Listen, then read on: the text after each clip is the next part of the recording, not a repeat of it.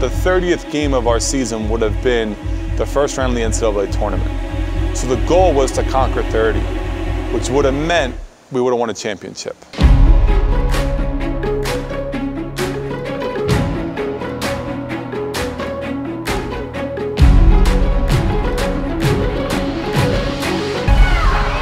I can't really blink. If you blink, then you, you might miss something. Kelly Gibson, one touch, right at J.L. Wagoos, and that's an and-one. Bucket would count. Everything is pace, everything is transition. We don't slow down, we don't lose our pace. The crazy part is that I think I could keep on doing it. The community service that they dedicate themselves to speaks volumes for not only the team, but for the whole college.